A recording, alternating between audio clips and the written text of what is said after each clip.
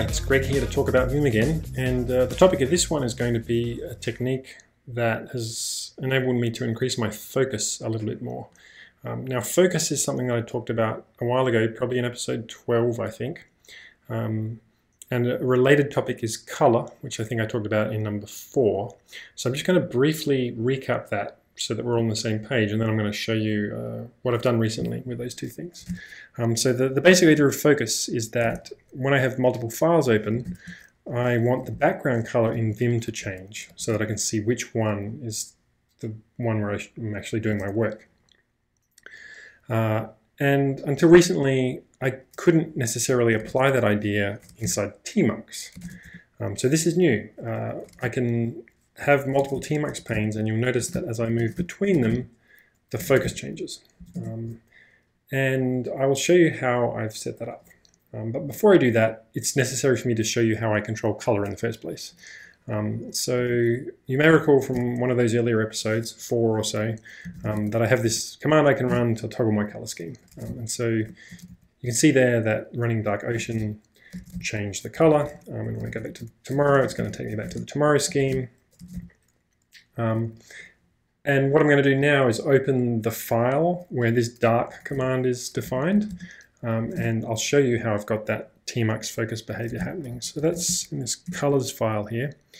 Um, and if we look here, we'll see where, what the magic is that's happening. Basically, uh, when this dark command runs, if I'm inside tmux, uh, then I'm going to look at the file where all the color codes are defined and I'm going to get the background color and I'm going to get the 18 color. The reason why I'm getting color 18 is it's the same color as I'm using in Vim to indicate lack of focus. And so once I've got those two colors, then I'm going to run these tmux commands to set the style of active and inactive windows um, to have those colors as their background. So it's that easy to get uh, focus working inside Tmux. Um, that's nice. Uh, on the Vim front, the change I've made is also, I think, in a color file. Um, it's just this little thing here.